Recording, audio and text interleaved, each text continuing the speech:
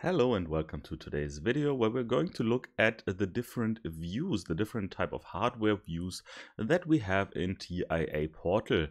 Uh, I right now have the problem as I progress in making videos, I get more and more um, components, hardware components here into my uh, TIA Portal project. And you see I have one, two, three, four, five, six PLCs and two HMIs and it's getting more and more and more and more. And if I go to devices and networks, you will see it looks a little bit crowded now. There's many components.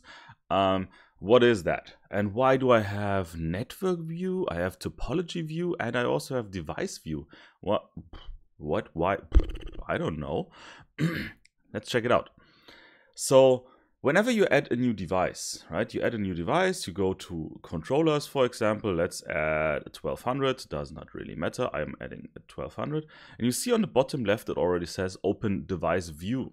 So I will just add this PLC to my project, open device view, and you will see the device view for this one PLC or whatever component we have uh, is opened. You see device view is active and we see this specific PLC that I added, the 1200 here, right? If I go back to the network view, I can just double click on any other component, for example, the PLC here, and will get me back to the device view of this one PLC where I can parameterize and I can change this, uh, this HMI, not PLC, this HMI here. If I want to go to another one, back to network view, I'm double clicking on another one here, I'm getting back here. If you don't want to double click on the top left, actually you have a list of all devices that you can choose. Right? I want to go to this CPU, hey, I go to this CPU. Hey, I want to go to this HMI, I go to this HMI. Now I can just go in here and change all the parameters down here for this one device, right? Or the PLC. I can go back to my PLC that I had. Here we go. And I can also change everything with this one PLC right?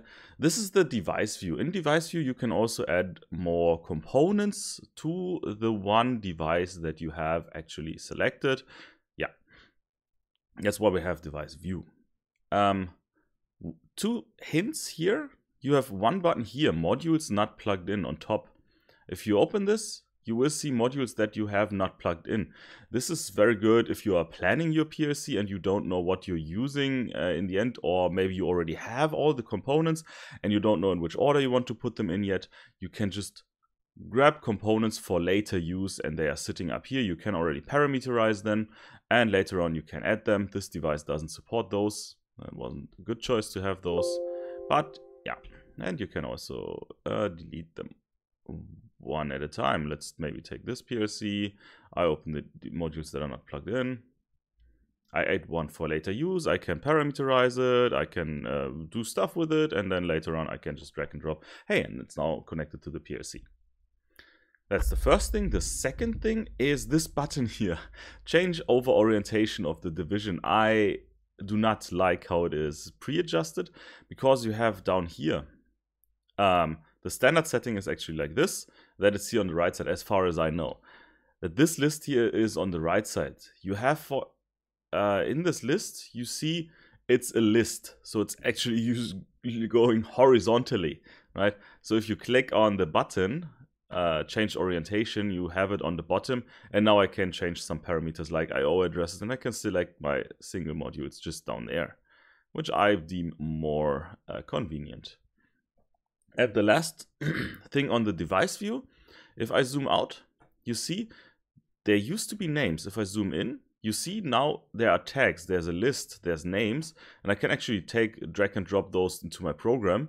Um, if you are zoomed in to more than 200%, you see it on the bottom here, I'm right now at 200%. If it's less, you can see them. If it's more or exactly 200, you can see them and work with them.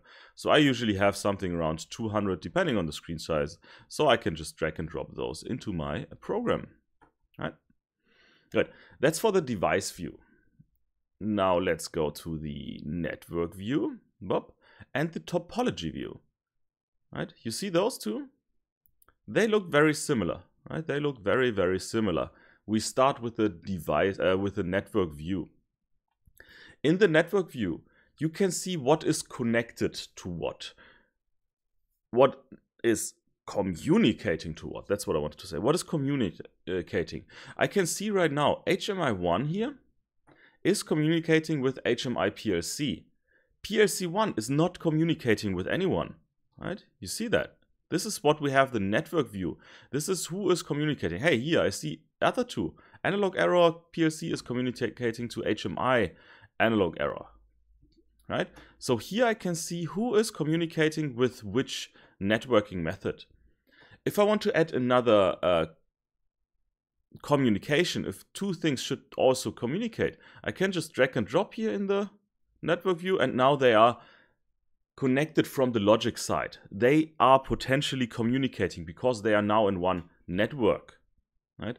To check this, we have this button here on top, show address labels. If you click it, you can see a lot of addressing, a lot of stuff going on. And if I push the PLC here to the side and those two are communicating, I can see they are, oh, somehow in the way, but that's fine. They are actually connected with this line. It's hard to see. PNIE2. So they are both connected with Profinet. And now we need to make sure that they are in the same network. Meaning the first three numbers, that's the presetting for TIA Portal. The first three numbers here, 192, 186, uh, 168, 0, have to be the same for the connected slot. So I can see for this slot it's 192.168.0. For this it's 192.168.03, uh, 0 and the last digit is 3. The last digit here is 1. The last digit indicates the the the the house number you could call it the the client number actually that's that's how you would call it um, so the first part needs to be the same the last number needs to be different for those we'll get we'll get to uh, networking later on. If I want to type in the 1 for the HMI here, you will see the address is not unique within the subnet. The next free address is the 2, so I could give this one actually the 2, and everything would be fine. Right? Let's see. If I take another PLC, I have this PLC here on the side, and I, I have 192.168.0.1.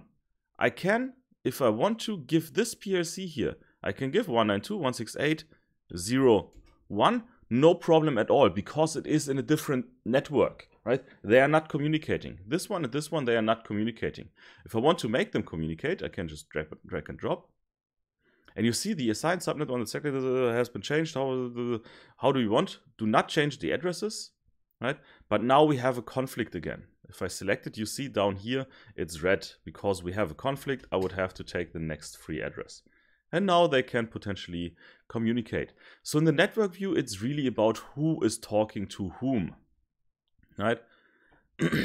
now those three devices are in one network, which does not mean they are exchanging data, right? This has to do with the program then, of course, how they exactly exchange the data, um, but they potentially can. This PLC here and this one no way they're not connected. They're not connected here in a logical way so they won't communicate. Of course there's methods but this is not how we do it here. So if I want those to communicate I can just drag and drop right and I have a pretty neat PLC it has two different networks so even if this is the 03 uh, is the 192.168.0 I can just use the second slot and make it in a different network and now this one can communicate with this one using this port and this port to the other. So also Profibus, if I want, they can also, uh, this one wants to communicate with Profibus with the others here. Here we go, tap. Now they are in a Profibus network. So I can just, this is, now they can potentially communicate. I would of course need to write a program which data they are sending, but yeah, that's how it is.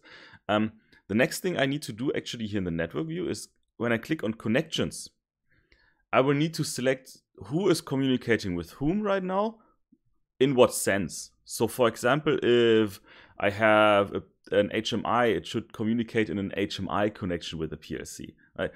Those are just some pre-configured things. So I could also select S S7 communication, which is between two PLCs. You see the HMI cannot do that. So between the PLC time and PLC1, I want a communication, right? an S7 connection and I connect them and now I can also see S7 connection 1. They are communicating. You build networks like this, right? And then you have a lot of communication going on through the programs. Uh, that's of course a whole different topic, a whole whole topic with a lot of contents. Um, but you can also in this network view, you can check, you have network overview and in network overview, you have all the components, right? That's very nice.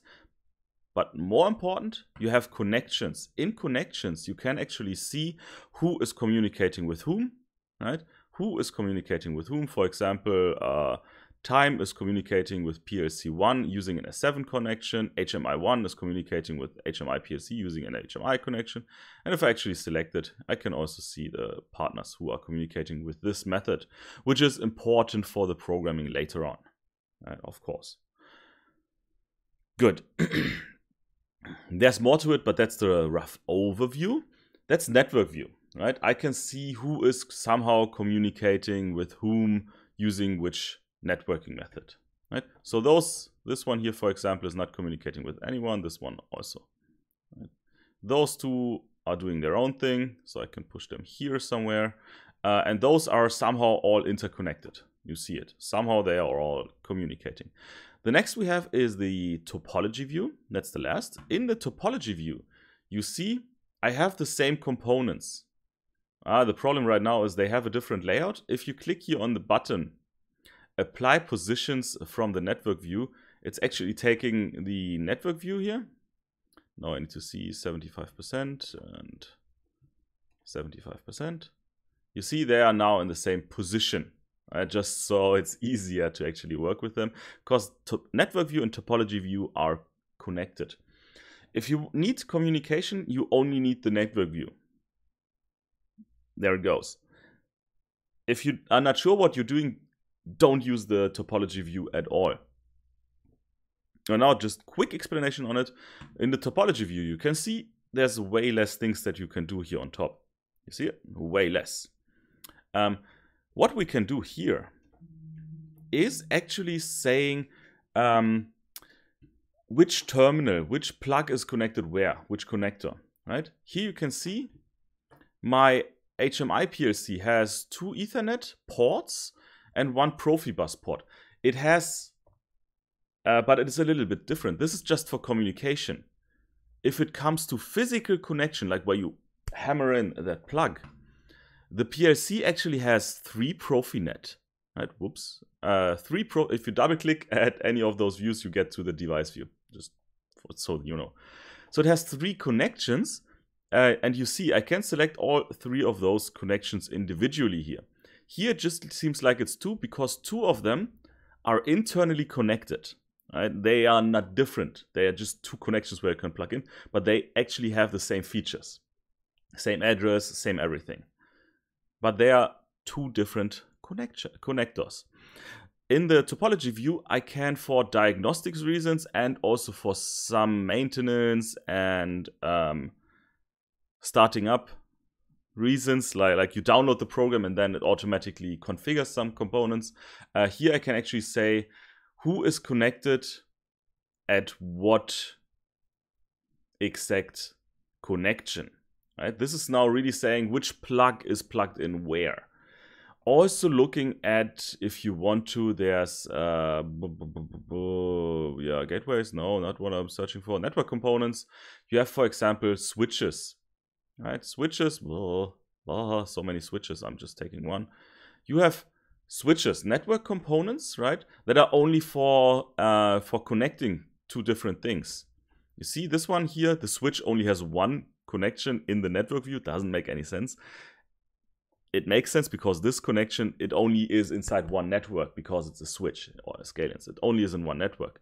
In the topology view, I can see ah it has four connections. Who is connected where? Maybe this one is connected here, this one is connected there, and this one is somehow connected there. Right? That's what I have the topology view for.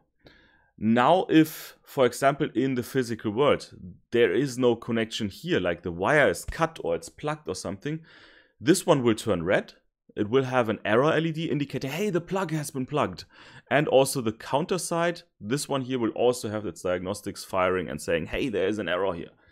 Um, this won't happen, like this error won't be there if you just have the network view and you pull the, you pull the plug. um, then it would say, "Hey, connection lost," but it won't tell you on which uh, on which connector and stuff like this. There's more to it. yeah. So the topology view is actually nice for setting up your network, right, and having a good network plan, and for diagnostics most of the time. Yeah. The last thing here in the in all three views, you can do show page breaks, right? because this view is usually printed on paper, so you can use it for um, for for for uh, diagnostics. You just print it out and you use it. And here you have the page break. I would make sure that it's all on one page, right? And now I could print, uh, and there we go, right? Right click here somewhere, right click, print, and then it would print this page view, right? This is then for all of the views. Right? Depending on how you want to have them, you can zoom in, zoom out, and then you have different pages. That makes sense for for for printing it out and really having it at the machines. Good. So that was a quick overview of device view, network view, and topology view. Um, I hope it will help you in the future. It's important information. If you're not sure uh, what you're doing, do not touch the topology view. I've seen many, many people making many, many errors with it. Uh, so stick with the network view for communication and the device view for configuring your and parameterizing your devices. Topology view really it's more for diagnostics reasons. If this video helped you, if you liked it, uh, leave a comment. If you still have questions, also leave a comment. If it helped you in any sense, leave a like. Don't forget to subscribe for more content. And I will see you in the next video. Bye.